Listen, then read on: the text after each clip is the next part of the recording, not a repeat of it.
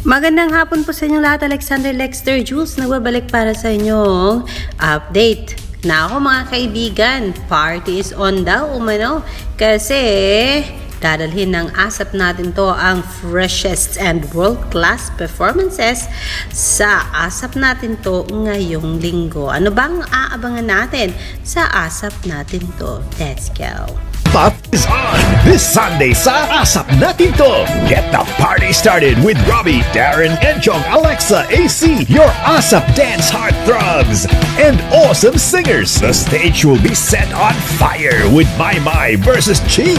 Get your grooves up.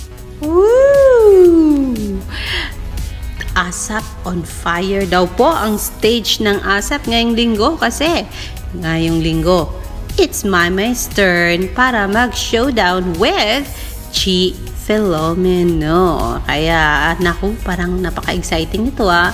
And knowing Chi and Maymay are also friend, let's see kung ano nga bang sasayawin ni Maymay and Chi Filomeno ngayong Sunday. Wow, this is exciting guys. For the birthday of Inigo. From P-pop to K-pop experience, we got you. Dahil nandito ang K... Lapilos, naku, may performance. Naku, kasama dito si... Uh,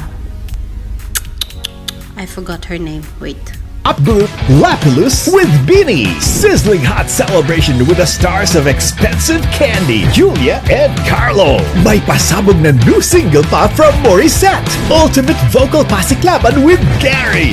Best of the best Kapamilya singing champions and Regine with our Top 6 Idol Philippines Season 2 hopefuls. Plus, powerful duet from Martin and Lovey. And heartwarming teleserye theme song Tapatan sa The Greatest Showdown. It's a Sunday fun day with your idols on Asap Natin To. The Idol Yes, yes, yes, yes. Mga kasama ngayong Sunday si Darren, Roby, and Chong. And then mga kasama si uh, Chief Filomeno and Maymay Entrada for the greatest showdown. And then mga kaibigan, Beanie and Beanie na P-pop.